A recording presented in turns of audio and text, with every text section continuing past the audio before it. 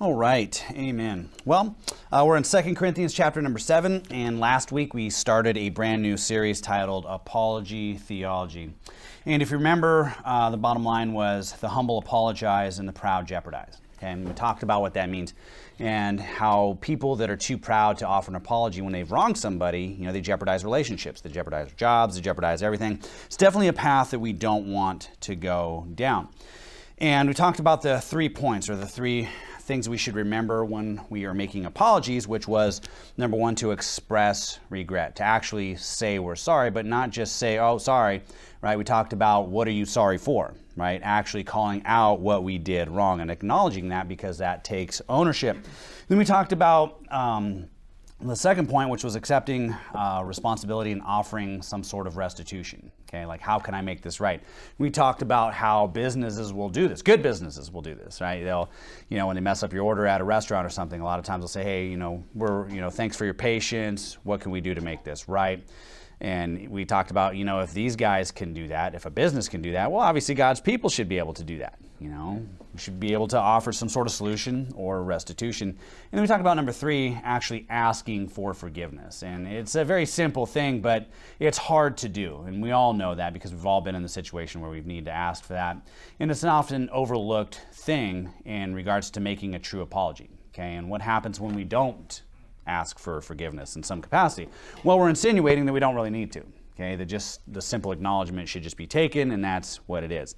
And hopefully, last week you saw how important that was to actually maintaining relationships. You know, a lot of times people hold on to grudges simply because one of those three things is missing in some sort of apology. And when you make it right and you follow that advice, right, and where do we get that from? We got that from the prodigal son. Okay, and when we follow that wisdom, we make things better. So remember those things as we go through today. So look at verse number 8. We're in 2 Corinthians chapter number 7. Look at verse 8. Paul says this. Says, For though I made you sorry with a letter, I do not repent. Though I did repent, for I perceive that the same epistle hath made you sorry, though it were but for a season. The title of the sermon this morning is Sorry, Not sorry. Okay. And so the idea today is to bring some balance to what we talked about last week. Obviously, we want to be a people that make apologies when we are required to do so, when it's to make the situation right. Okay. But we also don't want to take it so far that we're apologizing for everything. Right. Okay. That we're just a, a kind of a super humble, mega righteous type person, which doesn't exist, you know, or just, oh, sorry, sorry for everything, just making apologies for everything, okay? Because that can actually ruin you, and I will show you that. So we're going to take this verse apart here in a little while. Um, but I just wanted to bring a couple of things up. So the title is Sorry, Not Sorry. You say, what does that mean? Well, it's an expression used to basically insinuate your lack of regret, okay? And there are some things that our church is not sorry for. Okay, there are some things that we say and that we do. There are some uh, ways that we live by, which obviously come from the Word of God, that we are not sorry for. You know, everybody in here has been in the situation before when you make somebody upset or they get offended. You know, that old man can want to tempt you to somehow come up with an apology, and you have to learn how to resist that. Otherwise, you're going to become this type of person that's just too nice. And people that are too nice never get anything done, okay, because you're off balance, like so many other things that we talk about in life. Now, yesterday we were out soul winning, and I, I, picked this habit up. I think it, I forgot who it was from. Doesn't really matter, okay?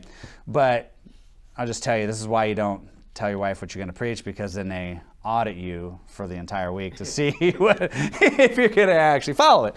But so yesterday we were out soul winning, and, and we were inside this enclosed apartment, okay?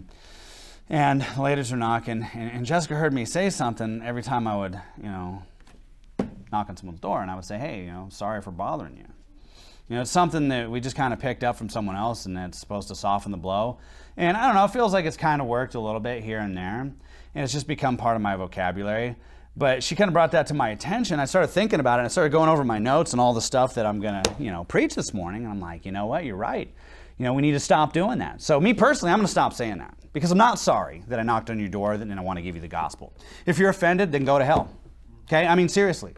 I mean, that, that's where we're at right now because look, this world has turned for the worse. And the people out there that want to become unreasonable and extremely hostile towards us, forget them. You know, if that's where you want to go, then go there. Okay? And you, you want to get super upset because our church knocked on your door, then good. I'm not sorry, though I did repent, like Paul said. So, you know, that's just a, a way that I've seen this affect me. Okay? And I'm going to show you how you know, subconsciously when we do this, it does make us weak. It affects something that we're going to learn about here in a moment. Now, I want to give you the boiling point today, okay? What this sermon is centered around, and it's really this question, okay? And this is something you have to remember, and I want you to make part of your life. Every time that you feel that urge to compromise, to apologize, to say you're sorry for something, you need to ask yourself this question, which is what does an apology require of me? What does an apology require of me? You say, well, why should I ask that? Well, what did we talk about last week? What is an apology? When do we owe an apology? Well, when we've wronged somebody, when we incur that debt, right? When we have done something wrong, when we have transgressed someone else in a relationship by our actions or by our words. I mean, we've all heard this, right? You owe that person an apology, or you owe me an apology, or I owe you, right? It's a debt. That's what it is. So, what is the answer to what does an apology require of me? Well, the answer is obviously to heal a wrong that we did. But let me ask you a question Is preaching the truth wrong? No. Is acting on the truth wrong? No. Are following the precepts laid out in the Bible wrong? Is being part of a fundamental Baptist church in an unfundamental world wrong? No. So, should we make apologies when we offend our family, when we offend our so called friends, our neighbors, or our coworkers? And you know the answer. The answer is absolutely no. So, what does an apology require of me? Okay? If you can remember that question and remember why we need to apologize to people to begin with, it's going to set you up for success and it's going to help us all get past this urge that we often feel to, to, to want to apologize for things, you know? We should never apologize, oh, you know, I'm sorry that you're offended. Okay? I'm sorry that I go to church on Sundays offend you. I'm sorry that I can't hang out with you and go fishing on Wednesdays because I go to church or whatever it is. Okay? No, we, we, we don't say I'm sorry. It's like, hey, thanks for your understanding. You know, hey, thanks for understanding, even though they don't. We make no apologies for doing what's right. Okay? And we have to understand that. You think, well, this is a, a pretty basic subject, but it's not. Right? This is something that you and I actually have to put into practice. We have to audit our own selves, our own lives, look to our own ways and say, hey, you know, does this apply to me? Is this something that I am doing that I am guilty of? So, with that being said, let's move on here. Let's look down at verse number 8 again. I want to show you a connection here to what Paul's saying in verse number 8. So he says, For though I made you sorry with a letter. And look, we've talked about the Corinthians a lot. You know, they were up to some extremely wicked things, right? We talked about this last week pride, arrogancy. They had somebody in their congregation that had committed fornication that hadn't even been named among Gentiles. So they're acting worse than people who don't even believe, okay? And Paul just tears them to shreds. He says, Look, what, did, he, what did we learn on Wednesday? What did he tell the Corinthians? Hey, those who are saying that I'm weak in chapter 13, he's like, I'm not going to spare those people when I come. Okay? But look what he says For though I made you sorry with a letter, I do not repent. What does repent mean? Does it mean, oh, turn from your sins? No, it means to change. Okay? It means to change your mind, change your direction, and that is what it means. If I'm going to Albertsons over here to get a five gallon jug of water and realize that it's cheaper at Fred Meyer, well, I'm going to repent and go to Fred Meyer because it's cheaper. Okay? But enough on that. You understand what that means? I do not repent, though I did repent. So, what does this mean here? Because it can be kind of confusing if you've never read this or had this broken down. Paul's just basically letting them know his struggle. Hey, I'm human too. Right? It hurts when we have to tell people that we love the truth. It hurts when we have to rebuke people. It hurts when we have to stand up and somebody else wants to stand down. Somebody that we care about.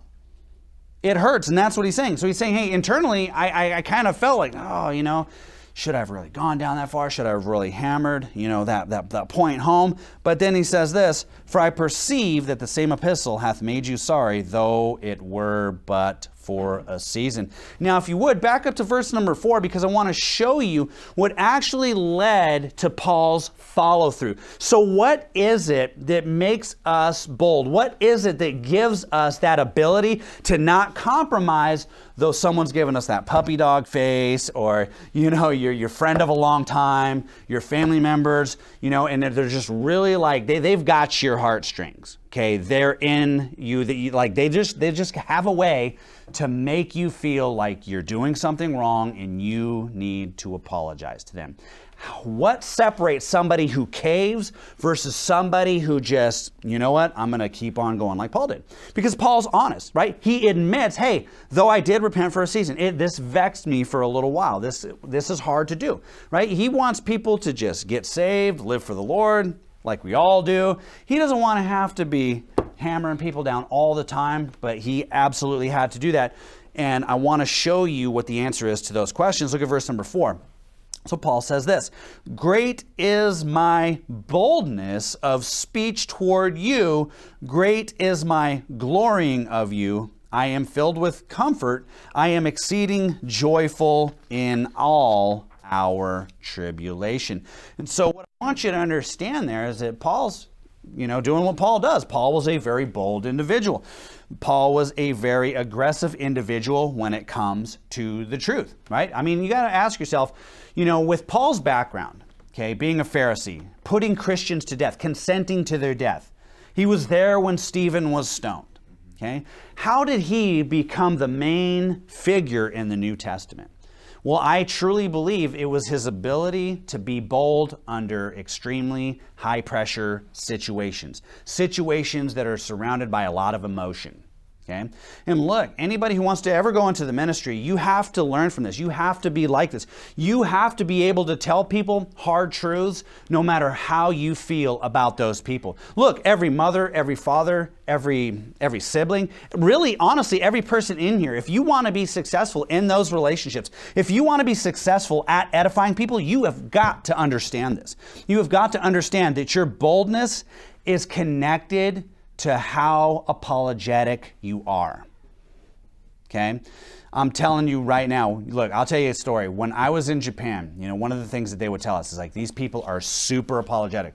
Like they will always say sorry. Like, you know, if they're looking at you and you're kind of like freaked out, they'll, they'll, say sorry in Japanese, you know.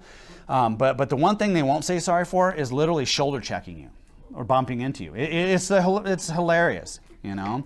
Like people walk by and just, mm, just give you a good one. And it's like, dude. And they would brief us like, hey, you cannot react like you would back in America, okay? Because they don't mean anything by it. They're in tight quarters, right? Who's ever just seen pictures of Japan? You know, who's ever seen pictures of Tokyo with millions of people around? Okay. Who's ever seen the pictures of them cramming people onto these subway trains with like a broom looking device? That's a literal thing. So they're used to, to being, you know, in tight quarters with each other. And so when they bump people, they just, oh, it's, it's not a thing. They, are not going to say, oh, sorry, right? But, but they'll say sorry for everything else. And here's one thing that I've noticed they are not a bold people. I'm not being racist at all. Look, I'm just being honest. They are not a bold people. I used to train at this mixed martial arts gym there. It was called Rodeo Style. And one of the guys that did speak English there, he would say, you know why we don't have, he said, one of the reasons why we don't have like a major champion, why we don't dominate the MMA circuit is because we're too nice. We are brought up to never fight each other. He's like, so he's like, I've never been in a real fight. I've never had any real controversy. You know, as soon as beef starts up there, people just solve it real quick. And, and you say, well, that's a good thing. It is and it isn't. Okay, because there are some times where you need to stand up to people and tell them that they're jacked up. Tell them that they're ate up. We need to have boldness, okay? And honestly, this is one of the things about our culture that used to bug them. But it's something in our culture that's going away. Okay, and you have to understand that we talk about that all the time. You know, the, the, the, the world's course, if you will, being ran by the devil, is trying to drive every godly attribute from society that is possible. So, going back to this verse here, let's look at it one more time. So it says, Great is my boldness of speech towards you. Great is my glorying of you. I am filled with comfort. I am exceeding joyful in all our tribulation. So we need to understand that our boldness and being over apologetic, they are connected. Okay, so Paul's saying in verse number eight, when you skip to verse eight, he's like, Look, I don't repent, though I did repent. Okay, he's like, hey, look, I have this internal struggle. I wanna, I wanna comfort you, but at the same time, I know that the discipline is more important. That's what's going to get results. So here's really the first thing that I want to mention this morning is apologizing when not necessary can have negative effects on your confidence. Okay? And as a Bible believing Christian, I'm going to tell you this right now, and you already know it. You absolutely have to have confidence. You have to have boldness. You have to be able to stand up to people. Look, you don't even really have to say anything, and people that just come around you will automatically be offended. You know, uh, all it takes is, hey, what are you doing tonight? And it's Wednesday, and it's at work, or you're at the store, and you're in the grocery line Okay, oh, I'm going to church. That there, a lot of times, just that statement in 2022, February 6th, can offend a lot of people. It's so weird. It's so bizarre, but that's the world that we're living in. Okay, go to Proverbs chapter number 28. Proverbs chapter number 28. Do you really honestly think that if Paul was a over apologetic type person, always trying to, you know, make amends for any kind of conflict, that God would have chose him, that God would have used him? I think you know the answer to that. So, what's the solution here? How do we get God to use us better? Because we want to be able to reach more people in this community. We want to be able to stand up for fundamentalism, right? Which is really just believing the Bible as it's written. Okay, that's all we're trying to promote here. We're trying to contend, we're trying to battle with all these other philosophies that are going on out here, which are pulling people away from the written Word of God. How are we going to do that? Well, we're going to do that by understanding that we need to be bold. We, we're going to do that by understanding that, you know, if we're not a confident people, God's not going to use us. Think about that. If you are not confident, if you don't have boldness, you will be out of this church. I'm not going to kick you out, right? That's not a kickable, a kick outable offense. Okay, but when Wednesday comes, when Sunday comes, when soul winning comes, when prayer comes, which is every day, when Bible reading comes, which is every single day, and someone else that's competing for your attention is there and you can't tell them no, then guess what? You are going to compromise, and God's not going to use that, okay? Hopefully, everybody in here understands that. This is very important. Proverbs 28, look at verse number one. It says, The wicked flee when no man pursueth. How much in our types of churches do we see people flee all the time? And there's really nothing wrong. It's like, hey, what's plaguing you? Someone trying to murder you? No, I, just, I bought this 80 inch TV and, you know, I just, I had to hook it up and so I couldn't come. And then, you know, this, this. And then, you know, it just, just, the clear graphics, it just kind of got to me. And next thing you know, six months have gone by. I can see the individual's face who said that to me right now. 80 inch TV, not even a human being, got this individual to completely crash under pressure. How do you let a rectangular box with images get you away from God? if you can't stand up to a TV that can't even read your mind, how are you going to understand? How are you going to stand up to people in the world? It isn't going to happen. The wicked flee when no man pursueth. The last time I heard about this individual, he was into some pretty wicked things. Now, obviously, he's, he's definitely saved. I, I, know that for a fact. He, he's saved, but he's just out of control. Okay. Well, the wicked flee when no man pursueth, but the righteous are bold as a lion. Okay, so the righteous say, and that's obviously believers, and, and, and, obviously the initial application here is the wicked people of the world, you know, they flee when nobody's pursuing. Okay, if you don't believe me, go get in the service industry, go into somebody's house who's wicked, like a sodomite. Okay, go into their house. They are triple masked, goggles, like everything you touch in their house is just like, you're not sick, are you? Oh, you, you know, I mean, it's just over the top. Like they're literally running for their lives. Just the mention of any type of virus of any sort, like, hey, Ebola might be coming. They're just, whoa, they're just like freaking out. It doesn't even matter. Look, I'm not downplaying sickness. We are going to face pestilence as the day approaches. We have to understand that, okay? But I'm just telling you, the wicked people around, like these commies, they take this stuff to a whole nother level. Okay, and it's bizarre. And why is that? Because the wicked flee when no man pursueth. Wicked people really aren't bold, they just seem like they're bold. Look, when the CDC called, what was it, last year, the year before, and I wouldn't back down, what happened? Nothing. Nothing. Nothing. Okay? You can't have your people outside without you. They must don. She says, You must don a facial covering the moment you step. I ain't donning nothing. Come make me, is what I said. Come make me. Come down here and make me. Where's she at? She said, I'm going to write this down here that you're untrainable. I don't care. I don't care. We're going to go out and preach the gospel. And the thing that really bothered me about that whole situation, and you guys, some of you know this, is that some people, or, or at least one guy, was chasing our soul winners down. Right? He flips out that they knock on their door without a mask and then proceeds to chase them down, violating all the rules and mandates. And I asked her about that, and she said, Well, that's, you know, some people just get really upset and blah, blah, blah. No, you're wicked, is what you are. Yeah. We're not going to listen to those people. Right. We're going to do what we do. We're called to preach the gospel. That's what we're going to do. But here's the thing, man it takes boldness. And here, and look, you have to understand this too.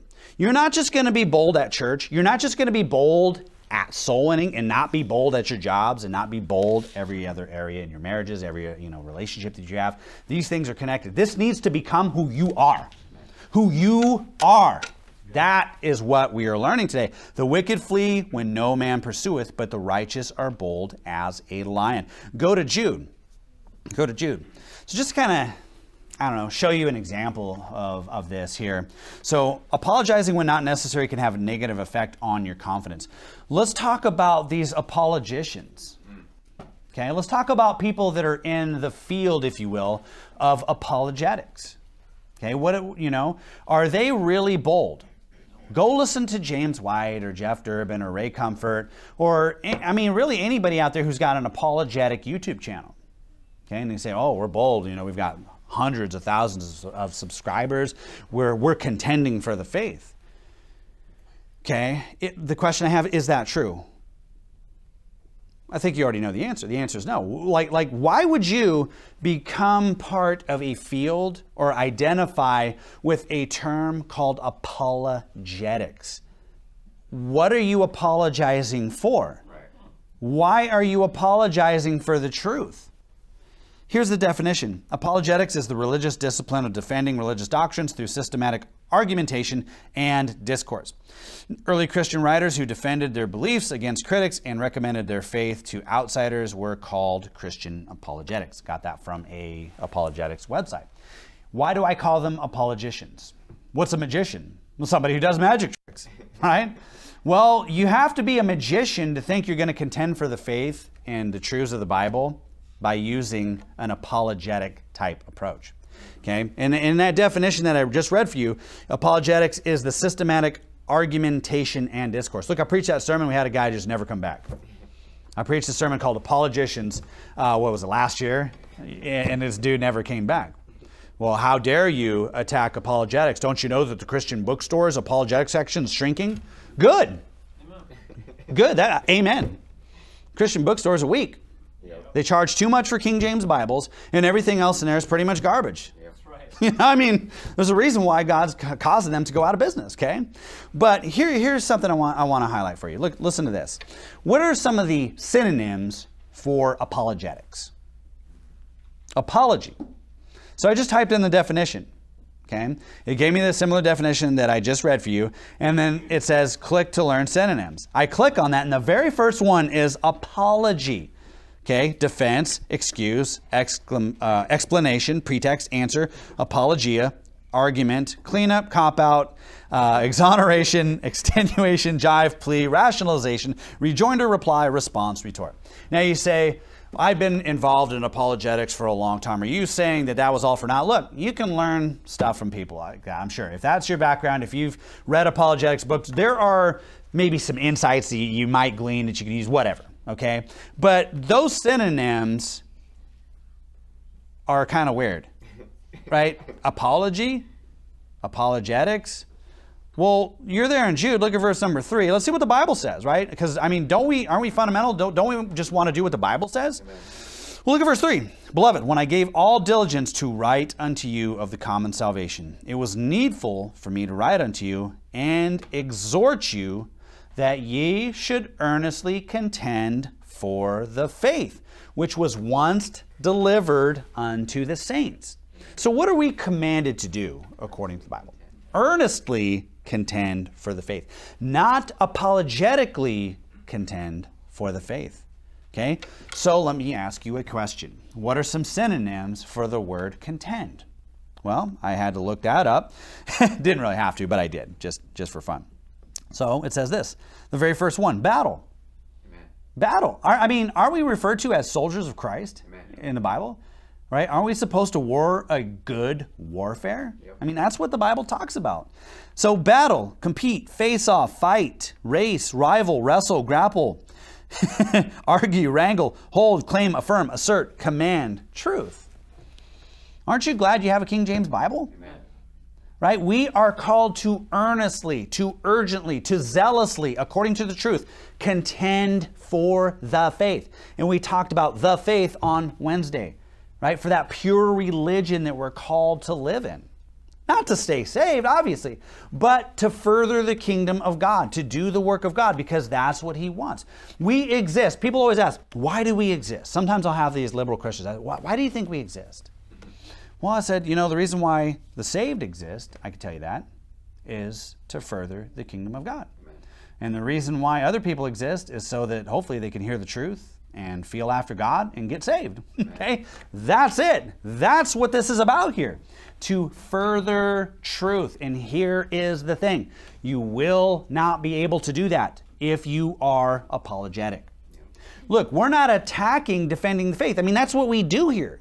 Okay? That's why these seats are almost empty. Okay? Because we draw a line in the sand according to the Word of God. Okay? Uh, let's see here. Go to Acts chapter number 13. Acts chapter number 13. So, apologizing when not necessary can have a negative effect on your confidence. And so, I, I think I made this statement when I preached that sermon about um, apologetics. I said that apologicians are great pretenders, not great contenders, because they really don't contend for the faith, okay, when you listen to them. They, they attack the Bible, they attack truth. They're always, you know, into compromise. If you don't believe me, there's a YouTube channel called Cross Examined. I mean, this this guy, I forgot what his name is, but he's he's pretty popular amongst the new evangelicals, right? And he goes in front of schools and crowds and tries to contend, if you will, for the faith. And I'm serious, just click on a couple videos and you'll see him attack the Bible. You know, we don't need the Bible because people in the audience they have questions that we could answer.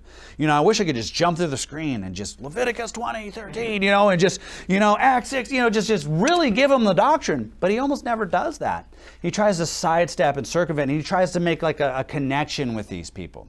Look, even these heathen um, people that are trying to contend for conservatism, they don't. A lot of them don't even do that. You know, you don't even you don't see Carl, you know, Carl, what was that? Tucker Carlson, right? You don't see him apologizing. He's not even saved. You know, he just gets on TV and says what he has to say, and a lot of it's true. You know, it is funny, right? But is he apologizing? No. If you see him, or and I hate this guy, Ben Shapiro. You know, does he apologize to the people that want to contend with him? No. So why are God's people doing that? Why are we apologizing for upsetting people? Should never do that when it's in regards to the truth. Okay, so let's take a look at some examples here. You're in Acts chapter 13, look at verse 46. This is obviously Paul and Barnabas here. Look what it says, verse 46. It says, Then Paul and Barnabas waxed bold and said it was necessary that the word of God should first have been spoken to you, but seeing ye put it from you and judge yourselves unworthy of everlasting life, lo, we turn to the Gentiles. Now, Paul had said that a number of times and always went back.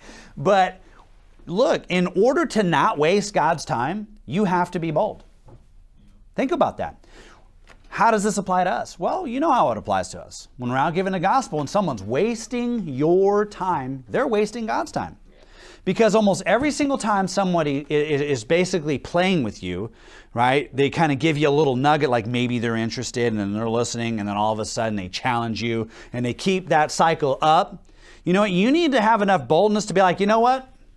Have a nice day. I'm out. Okay, you, are not believing what I'm saying here. I'm wasting my time, but we're also wasting God's time. What always happens a few doors later? Somebody gets saved. Okay, and again, we are fighting a spiritual battle. There are people out there influenced by demonic activity that are trying to stop what we're doing.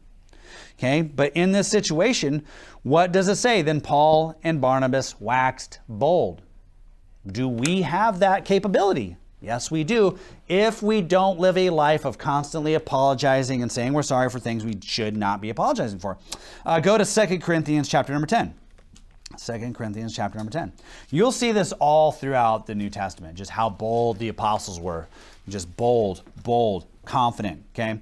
Look at verse number 1. 2 Corinthians 10, look at verse 1. It says, Now I, Paul, beseech, or sorry, I, Paul, myself beseech you by the meekness and gentleness of Christ who in presence am base among you, but being absent am bold toward you. So he would take the accusations that other people would throw at him and he would acknowledge them, but then he would demonstrate that it's not really going to hinder his mission. Does it hurt the heart? Yes. Words matter, words mean things. And when people say things to us, you have to understand that it will hurt you. Okay?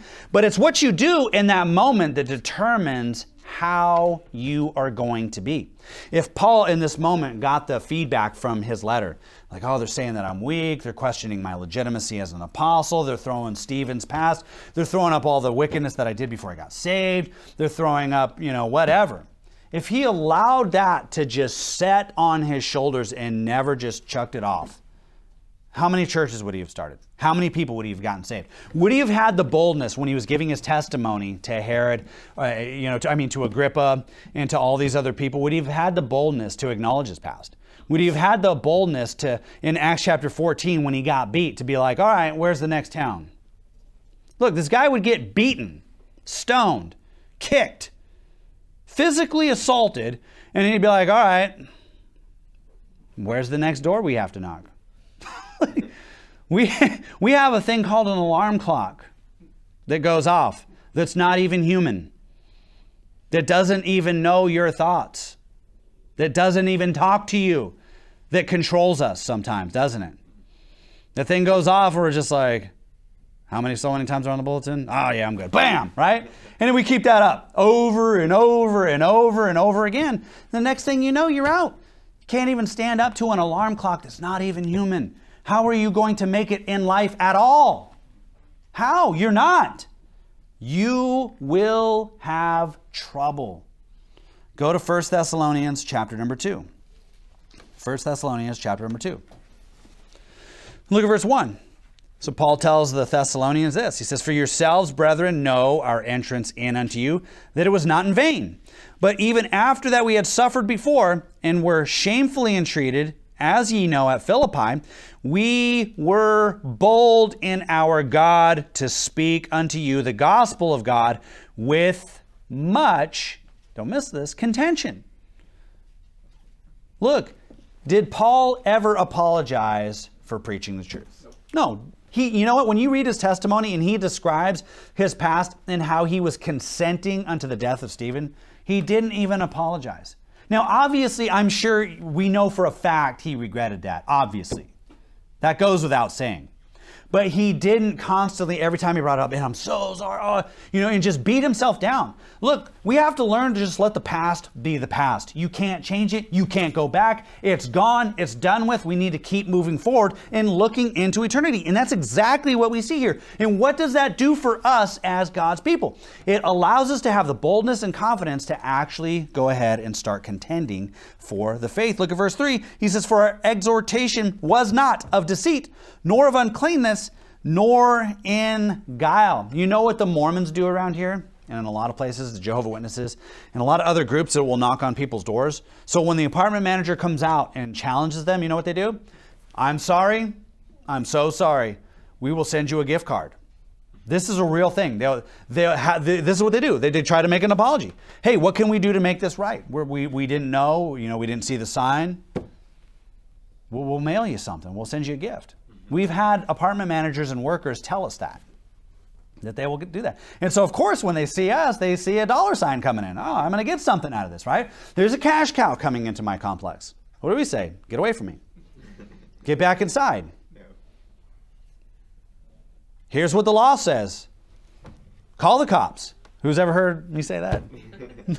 Just about everybody in here. Right? You want to call them? Call them. Okay? Look, we're not backing down. We're not backing down. Now, look, I'll tell you, there are there are some times when when apartment managers will come out that, that you do need to leave because we don't want to jeopardize a bunch of other doors. So you go to a place during the day in the middle of the week, for example, and the guy comes out, look, you don't want to make a scene, or even on a Saturday, you don't want to make a big scene because we can always go back at night on Thursday. Okay, so you do have to have some smarts about this and think. You know, we don't want to be so overbold where we're like, you know, let's go. Because what if Boise PD shows up and it's the wrong person that shows up and actually causes a bunch of trouble, does trespass us, and now we can never go back? Right? So just understand there's balance with everything. Okay. Now I will tell people like, hey, we're not breaking the law. I always try to start, you know, like, hey, here's the definition of soliciting. Here's the Boise statute. I've got the code printed out right here. We are not breaking the law. We are totally legal. You know, once it gets past that, a lot of times it will be like, well, then call the cops. Do it. Because we want these people to understand that we're serious about what we're doing. Okay. But I'll usually do that and I'll kind of be gauging, like, okay, if we got like four doors left, whatever yeah, call them, and then we'll leave and come back in a couple of years, you know, or, or, next year, or whatever. But I mean, if it's like right off the bat and it's a big complex and you know there's people in there that can be saved, you got to be a little bit smart about that. You could just say, you know what, obviously you don't want to follow the law, so whatever, and just leave and come back another time. That's okay. Because at the end game, I'm sorry, the, the end goal is to get people saved, right? If we get trespass from every apartment around here, then what's the point? Okay, so just keep that in mind. Just, just something I thought of there. Uh, turn to Ecclesiastes chapter number 8. Ecclesiastes chapter number 8. And I'll read verse number 4 for you. It says this But as we were allowed of God to be put in trust with the gospel, even so we speak, not as pleasing men, but God which trieth our hearts. Again, this, this is the idea here. We need to be a people, and I think we are, that has our priorities straight. We want to please God rather than men. I think that's why you're here this morning. I think that's why you identify with this church, is because that's our mission. How are we going to get people saved and actually edify and contend for the faith if we have the goal of pleasing men? We, you know, we're not interested in that. We are not interested in that at all. Paul wasn't interested in it. You know, Jesus wasn't interested in that. Did he ever apologize to the Pharisees? Did he ever apologize to the scribes? Did he ever apologize to the Sadducees? No. He told them the truth, and when they got hurt, he just took it even farther. And that's exactly what we have to do as God's people. So, here is what we do about this. Look at verse number one. It says this Ecclesiastes chapter 8, verse 1 says, Who is as the wise man? And who knoweth the interpretation of a thing. Now, don't miss this next part. A man's wisdom maketh his face to shine, and the boldness of his face shall be changed. I want you to look after the question mark in that verse and tell me what it says. It says, A what? A man's what? Wisdom maketh. Okay, a man's wisdom maketh. It doesn't say a man's knowledge maketh. It doesn't say a man's ability to get along with other people maketh. It doesn't say that a man who can get along and say sorry over every single thing that he does maketh his face to shine. It's wisdom. What is wisdom? Wisdom is knowledge that is applied. Okay? It's different than knowledge. You need that knowledge, and then you have to actually use that knowledge. Okay, we've talked about this in great detail in the past. Um, let's see, go to Exodus chapter number 34. Exodus chapter number 34. So we can see that it's wisdom that makes our face to shine. That's what gives us boldness. You say, you know, I, have seen this before where, where, where we get new Christians in, they start learning the Bible, and then like six months later, you know, seven months later of reading and just coming to church and just applying the things that they've learned here, like they're like a different person. You know, their, their countenance completely changes. Like, you know, I, will think about like the first time I met a person and then like how they are now. And it's like, wow, this is really amazing. That is this verse right here. That is the idea behind meeting three times a week. That's the idea of assembling ourselves together and centering this service around the Word of God. It's to make us bold by giving us wisdom, right? I try to give you some knowledge and some things for you to do, for us, for me to do, for us to do and apply in our lives throughout the week. When we do those things, you don't get to see it, but other people will see it around you. You increase your confidence, you increase your boldness, which only increases results, okay?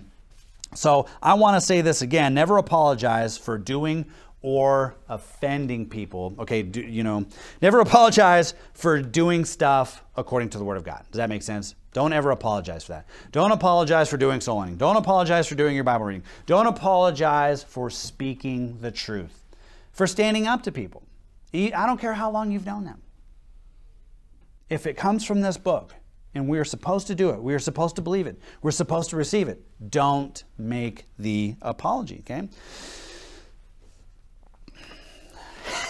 I'll tell you this story here. I was in a meeting one time, and uh, there's this admiral. He used to come in late all the time. These these guys, it's something that they do. I remember one time he was really late, you know, and I was kind of thinking, I don't know. I just had this thought, like, I wonder what he's gonna say. You know, like, it's like he's really late, right? We've got a lot of stuff to do. This is when I was working for the government. You know what he does? He comes in. He's like, "Hey, thanks for your guys' patience," and he sits down. And people are like, "Oh, no problem, sir. Hey, no problem. Oh, no problem." I've seen people of his caliber come in late and not say that and get yelled at, chewed. Like they come in saying, "Hey, I'm so sorry." You know, they start apologizing, and it's like all of a sudden people get like this extra boldness, right? Like like the, the bosses and the other bigwigs would get like this extra boldness, like almost like he's coming in limping, like weak, and they're like, "Oh, well," they turn into wolves all of a sudden. They're just gonna pounce, you know. This guy, he, this guy, he comes in, he's like, "Hey, thanks for you guys' patience." You know, I really appreciate it. And people are just like, oh, yeah, yeah, no problem. And, and think about that for a second. Try it out sometime. you know what I mean? Don't abuse this stuff. I'm just simply saying it works. Okay? And it's not wrong. I realize this guy's not wrong. You know, he didn't have to explain himself. I mean, this is a very powerful individual, very powerful individual. You know, he knew he was late, knew he messed up. Did he really wrong anybody though? No, it's just not ideal. You know, we have like we had, used to have like five meetings a day. you could say whatever you you could miss one and it's like the next one's the same thing. It's people yelling and you know tipping tables and screaming. It's it's all the same temper tantrum all five times. It's the same thing. This guy just said, "Hey, thanks for your patience. Thanks for waiting." You know, a lot of times um, you call tech support for the internet. You know what some of these companies will say? They're not. They're not. They don't apologize. They're just like, "Oh, hey." Yeah, you know, we really appreciate your patience while we work this issue out here. Who's ever had somebody say that? Think about a time someone has pulled that on you for one of these companies, right? It, what, does it, what does it cause you to feel? You're like, all right, all right, no problem. Yeah, okay, yeah, I understand. I don't know. This is something I learned while studying this. It's, it's, interesting, right? So I'm just simply saying this: reserve some boldness for yourself while simultaneously taking ownership. Okay, there's nothing wrong with that. Just get out of the habit of just you know saying you're sorry for every single little thing that you do. Okay, I'm not talking like if I bump and step on somebody's toes, like physically, I'd be like, oh, whoop, whoops, sorry. I'm not going to be like, hey, thanks for, you know, your patience while your toe heals, right? Obviously, there's little things like that. That's not what we're talking about. You know what we're talking about. We're talking about people that are just overly apologetic. Okay? They're weak. And if we go down that road, we're weak. And we don't want to be weak like that. We want to be humble. We want to be a people of balance, okay? So you're there in Exodus 34, look at verse 29. The meekest man during this time on the earth was who? It was Moses, right? Look what it says in verse 29. And it came to pass when Moses came down from the mount Sinai with the two tables of testimony in Moses' hand, when he came down from the mount, that Moses wist not that the skin of his face shone while he talked with them. Now, look, this preaches all by itself. He goes up to the mount. He gets the commandments, which are what? Well, they're things that we need to do. The commandments themselves, when you read them, okay, well, that's knowledge. That's what I got to do. When you apply and you actually live by those things, it gives you that boldness that Solomon told us, right? Through wisdom, a man's face begins to shine, and that's how we get boldness. So, this is what happens, right? He doesn't even realize it. He has no idea that his face is shining. But look what it says in verse 30. And when Aaron and all the children of Israel saw Moses, behold, the skin of his face shone, and they were afraid to come nigh unto him. This is something that will happen and probably is happening right now to you. Okay? Your family members that see the boldness that you have, they are afraid. They are fearful. And they exercise, they show that fear in different ways. Some of them just won't want to talk to you. Others, they're going to bring their friends in and they're going to try to overpower you. They're going to do something to you. They're going to say something. They're going to try to get you to back down. Why? It's because they are afraid. When you see who's ever everybody in here has been around somebody who's extremely bold at what they're doing, right? It kind of it kind of makes you feel a certain way. All right, when you go to a job site and you you know you, you're working on something and somebody comes along and they've got a lot of experience doing what you're doing, right? There's a little bit of an intimidation factor when they're watching you. Okay? It works across the board. This is why people lash out at us when we go to apartment buildings or we go to neighborhoods. And it's not every single door. I don't want to scare you from soul winning, but it does happen. The reason why they lash out and, and something that will help you to understand is that they are afraid. Okay, they can see the boldness that we have. It takes boldness to go knock on someone's door. you know, one, one of the things that I've learned about this community here in the Treasure Valley is that people are like homebodies. You know, they don't like to go out and, I don't know, meet new people or, or, or do things.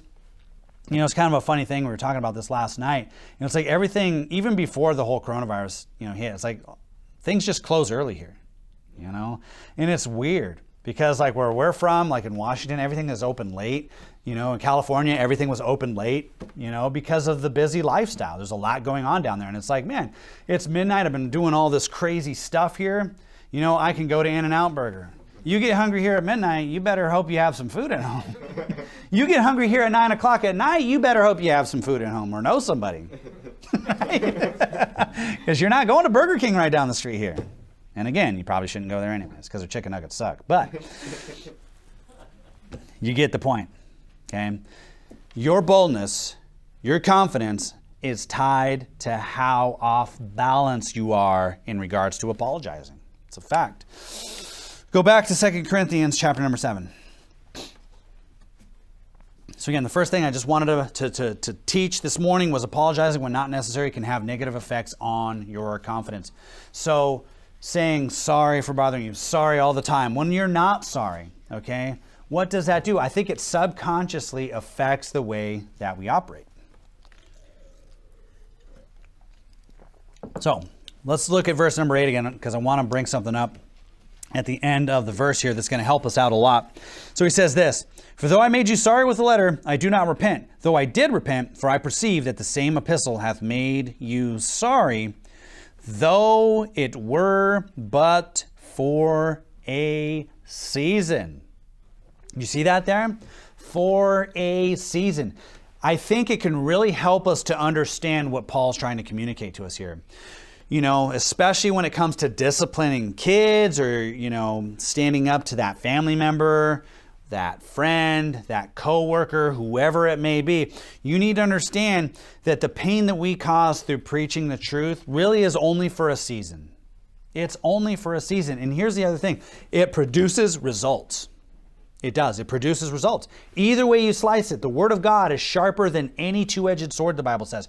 So when you preach it, when you tell people it, when you stand up for it, you get results. You may not get the results that you like, you may not get the results that your old man wants, but you will get results. Go to Matthew chapter number 10, okay? You're either going to get a positive outcome immediately or it's going to go down the road as a testimony into eternity okay? Which either way you slice it is what?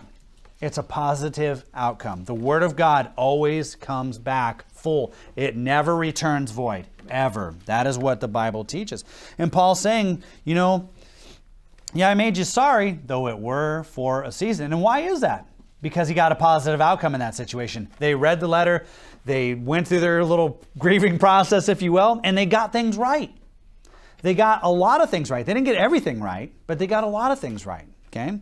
And that is exactly why we do church the way that we do it. But I want to show you something here. Matthew 10, verse 16. Look at what Jesus does. So this is this passage here where Jesus is getting the disciples and he's sending them out two by two. Okay, and he tells them, you know, don't take scrip, don't take your purse, don't take your, you know, any supplies. You're basically just going to go out. It was a miracle.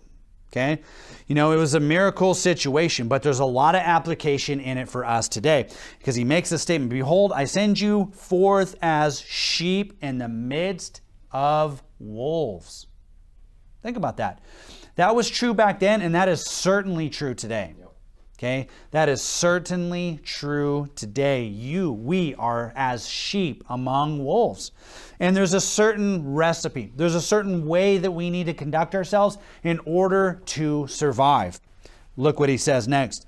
Be ye therefore, so for that reason, he says, Be ye therefore wise as serpents and harmless as doves. Hmm, what does that mean? Be wise as serpents and harmless as doves.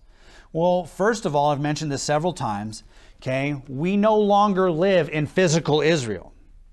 Okay, we live right here in the United States of America.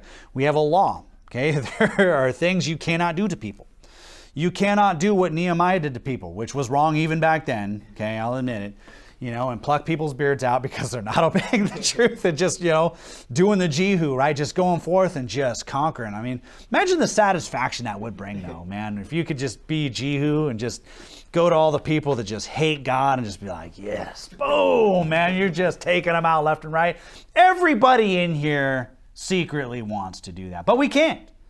Okay, we can't. We have to be harmless as doves. We are not about physical confrontation, though I'm not against self defense. Okay? The recipe is what? It's wisdom. It's combining wisdom because wisdom produces boldness and boldness produces results. Okay? We can turn the world upside down without literally lifting up a finger to somebody. Think about that for a second. So look at verse 17. But beware of men, for they will deliver you up to the councils, and they will scourge you in their synagogues. Verse 18. And ye shall be brought before governors and kings for my sake now, don't miss this for a testimony against them and the Gentiles. So, what does this point back to? Results. Standing up for the truth gets results. They may have to go as a testimony like they are here, but they get results. They get recorded into heaven. And that is the idea, that is the goal. Ecclesiastes chapter number 8, verse 1 says, What? A man's wisdom maketh his face to shine, and the boldness of his face shall be changed.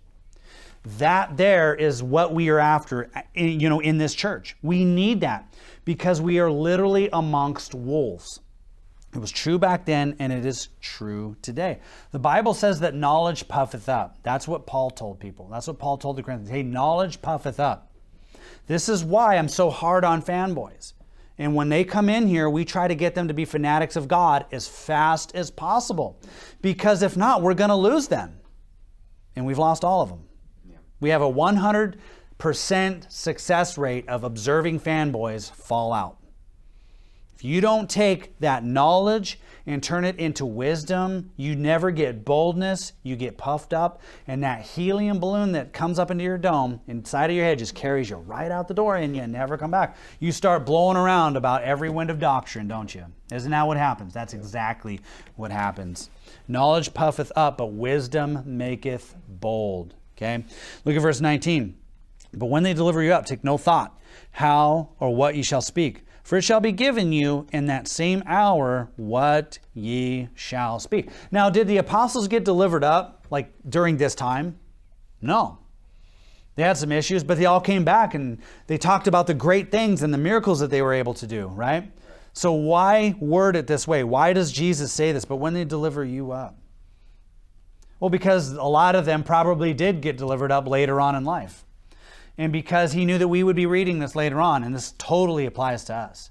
There's coming a day, there's coming a time period where we will be the enemy. I mean, we're the enemy now, but I'm talking like the legal enemy, where it will be open season on the Christian. And only the bold will survive. Look at verse 20. For it is not ye that speak, but the Spirit of your Father which speaketh in you. So here's the deal if we're just apologizing for the truth, then it's not the Spirit speaking in us. Right. This is why apologicians, apologetic people, they're not really contending for the faith. They're just making matters worse. That's all that they're doing. Yep. And they're weak, all of them. Go look them up if you don't believe me. Go to back, uh, go back to 2 Corinthians chapter 7. We are getting close to being done. So the application here is very simple: is to rejoice when you make someone sorry over the truth. You say, why? Why be happy about that? Because you make your heavenly Father happy. That's why. And because it's only going to be for a season, and because it's going to get you results, and it's going to increase your confidence in your boldness. Okay, and start with the objects. Okay, stand up to the TV, stand up to the alarm clock, stand up to the KitchenAid mixer, whatever it is. All right, stand up to the cheeseburger, which I'm not going to do here in a little while. Okay, I'm going to devour that guy. But, anyways, big buns, Colin. All right, but, anyways, whatever. Look at verse 9. 2 Corinthians 7, look at verse number 9. Paul says this Now I rejoice not that ye were made sorry, but that ye sorrowed to repentance. For ye were made sorry after a godly manner, that ye might receive damage by us in nothing. Right? So here, you got to have the right attitude, right? We're not out just to get people mad just so we can laugh. Because the old man does think it's pretty funny. Okay, when I was a kid, man, I made it a mission to get my parents upset just to laugh. You know? I watch Looney Tunes and see, you know, one of them cartoon characters put a thumbtack down under someone's seat and watch how they act. I did that to my dad. And that's why I'm in the situation I'm in now with him, okay? so I'm just simply saying, not that ye were made sorry, okay? But, what does Paul say? That ye sorrow to repentance. What is repentance? Just a change. He's like, hey, you guys were all puffed up. You were all messed up. He's like, but my letter caused repentance. We're not talking about salvation here. We're not talking about going to heaven and hell. He's saying, hey, you simply changed. You accepted the truth, and now you're doing better. That's all he's saying. Verse 10 For godly sorrow worketh repentance to salvation, not to be repented of, but the sorrow of the world worketh death. Okay, so he compares these two concepts here. For godly sorrow worketh repentance to salvation. Okay, look, when you're out and you're soul winning and you're giving them the two edged sword, right? This word, the word of God, you're giving people the Bible, it does cause them some sorrow. When you tell them what Jesus did on the cross and how he is the satisfaction, he is the propitiation for their sins, and you say there's nothing left to do but to believe. That's all you have to do. That, that's all you can do is believe. You literally cannot repent of your sins. You can't turn from them for your salvation because He's already picked up the tab. It's too late. The only thing left that you can do is believe. And here's what He did for you. And you talk about what He did, how He lived this life, and how He was beaten, and the torture, and, and, and the cross, and then how He overcame that. You know what? That does produce a godly sorrow in a lot of people. And they're like, wow, I didn't know He did all of that. I didn't, you know, I didn't know he went to hell for three days, three nights. That's crazy. That does produce a change of mind in people, and that's what Paul's saying. But this goes in every area of life, okay? Preaching sermons in a lot of people's lives will cause a godly sorrow. Like, wow, you know, that's me. You're stepping on my toes. That hurts, right? I'm going to change. I'm going to repent. And it will produce salvation on that type of level. Okay, not every time you see the word salvation in the Bible is talking about heaven and hell.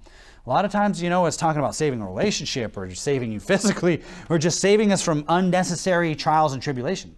You know, each day has enough evil of itself. We don't need to make it worse, okay? Which is why we're going to talk about something here in a second. Look at verse 11. For behold, the self same thing that ye sorrowed after a godly sort. What carefulness it wrought in you. So again, because Paul was bold, because Paul was wise, because he didn't back down to his emotions, he got these results here. Look, what carefulness it wrought in you. Yea, what clearing of yourselves, yea, what indignation, yea, what fear, yea, what vehement, or uh, vehement, vehement desire, yea, what zeal, yea, what revenge, in all things ye have approved yourselves to be clear in this matter he got the result. But if he had been an apologetic type person and been going back and forth, well, I'm, I, you, you, this is wrong, you know, and I'm, oh, I'm sorry. Okay, they wouldn't have changed. They would have sniffed that out and been like, that's all good. It's not that big of a deal, right? But he didn't do that. He didn't back down. And that's what we need to be like. That's what we need to understand. And so we're getting close to being done, but I want to bring a couple of things up. And, you know, this is about our church here, okay? So, talking about when not to apologize. Because if you've probably heard this before, every once in a while, someone in here will lose a friend. Okay? Because of me. it's usually because of me, or because you go here and because of me. And it doesn't happen all the time. It doesn't happen every week. Doesn't happen every day. Doesn't ha- happen every month.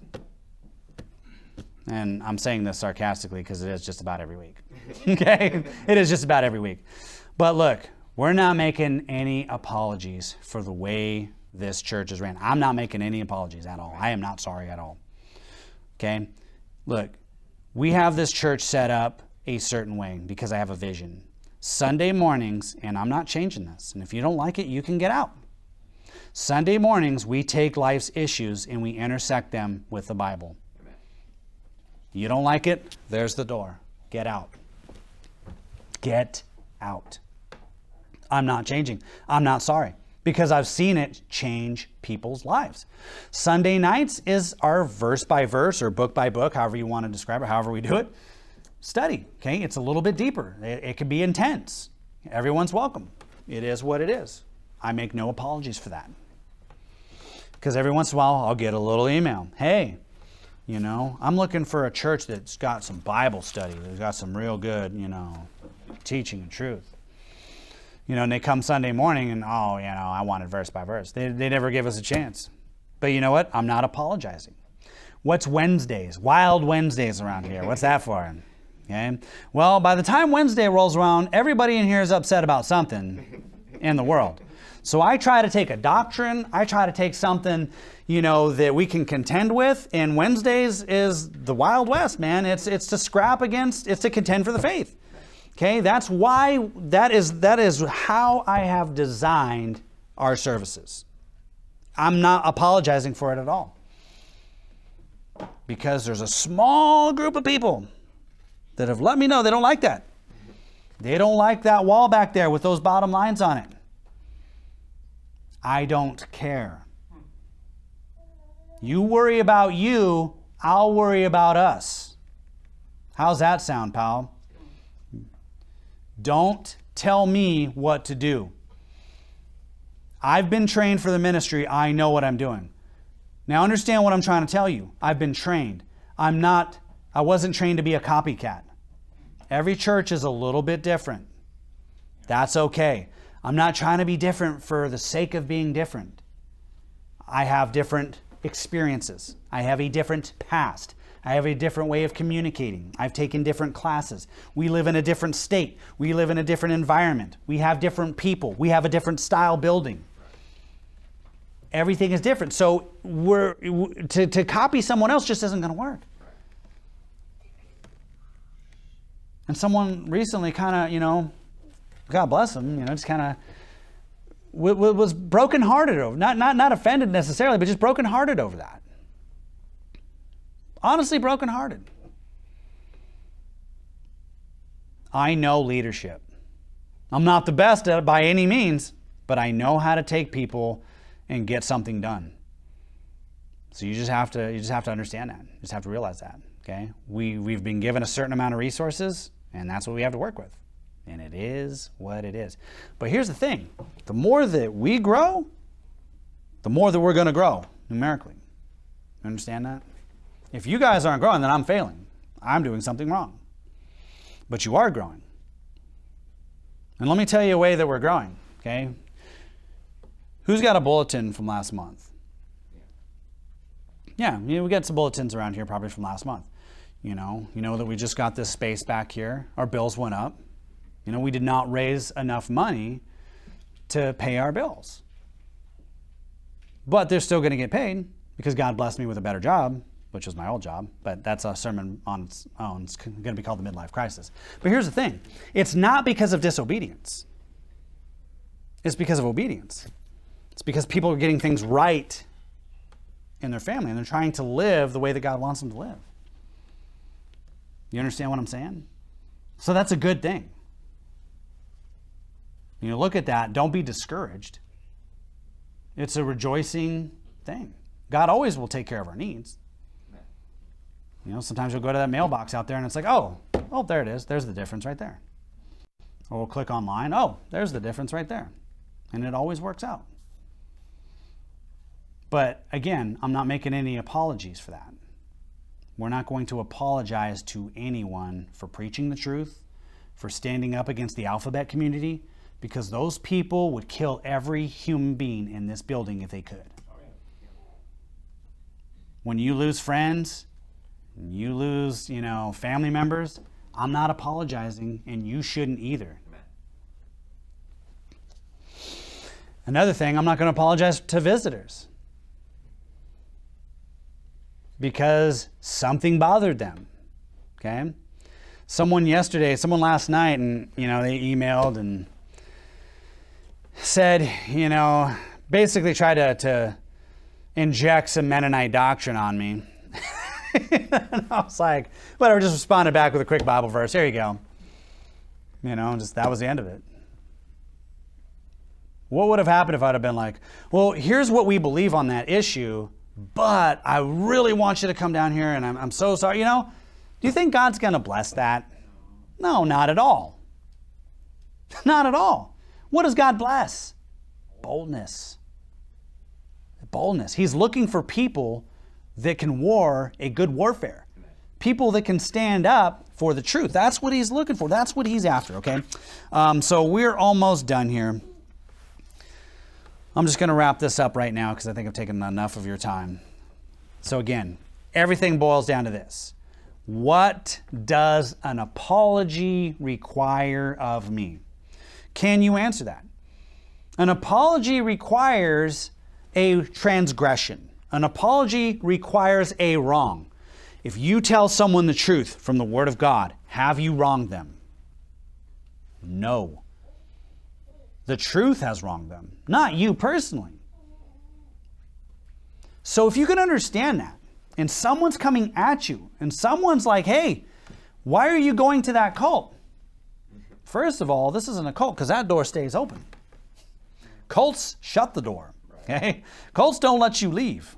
We let you leave. You're free to come and go as you please.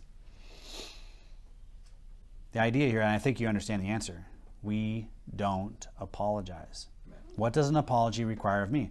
It requires, first of all, to be present a wrong, a transgression, something that you did wrong to someone else.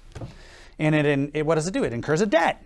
You now owe that, and you need to pay that. Simple as that. When you can understand that, you can start to function better. You know, you'll find yourself in these situations like, man, am I supposed to apologize? And you think about what does an apology require of me?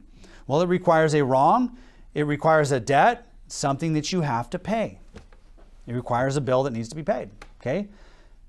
And if it doesn't, because it comes from this book here, then guess what? You don't owe that to anybody. And you shouldn't pay it. And you should not pay it. So, I guess the challenge for this week, for me especially, is I'm going to stop saying sorry for bothering you. Because after going through this and really thinking about this and studying this, I'm not sorry that I knocked on your door. I'm not sorry that I stepped on anyone's toes. I'm not sorry that I spoke the truth. I'm not sorry that we run this church the way that we do. And really, if you go and visit other new IFB churches and talk to the other pastors, they have no problems with anything here because it's very, very, very similar. You know, it's very similar. I mean, the only real difference is just really the way the building's laid out, you know, the years we've been in service. You know, they don't have the Shield of Faith Baptist, you know, Bible book list, you know. They have a different banner. That's really it. But every so often there's a minority of, of, of pupils outside of these churches that say, well, that's not quite what he said. I have different lenses. You know, I might interpret a verse just a little bit differently. We all, we're all like that. You get all of us pastors in a room, and we're going to, you know, hash it out on different, you know, verses. But all the doctrine's the same. Does that make sense? We might just have little differences here and there. It's the outside people. There's always going to be these template cutters, these template pushers. And I'm and it's hard not to get sick of them. because they're annoying and vexing. And I've just realized that the solution is to not apologize to them. So that's what I'm going to do. And my challenge to you is to identify some areas in your life where you're apologizing when you shouldn't be and make those changes. And I'm telling you, you're going to see your wisdom increase. You're going to see that boldness increase. And you'll be able to notice it in other people, which is a, tool that we need. We need to discern other people. We need to, to know how other people are doing in the faith so that we can help them out. So hopefully that makes sense. Okay. What does an apology require of me? A wrong which incurs a debt that needs to be paid. And that, you know, anytime you're preaching something or teaching something from this book, guess what? You don't owe anyone anything but more of that truth and more of that. And remember, that pain that they feel is only for a season and it's going to produce results. It's painful. Paul even said it, right? Said, I don't repent, though I did repent. Okay? You, you, we are people. We have emotions. These emotions arise in us. And you just have to realize you got to fight that old man. You've got to fight that self. You have to fight through these. And I think I've given you the tools this morning to actually do that in this subject. So we're done right now. Let's bow our heads and have a word of prayer. Thank you so much, Lord, for, again, this great truth in your word. I just pray, Lord, that you would help us to find balance with the subject of apologies and uh, help us to, to increase our wisdom that we can have that boldness, Lord, uh, that we need so that you can use us better. And we thank you for all that you do for us. In Jesus' name I pray. Amen. Amen.